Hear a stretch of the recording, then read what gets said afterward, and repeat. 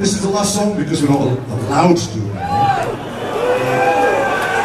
But it's been a pleasure. First gig in the US. We're going to be back next year.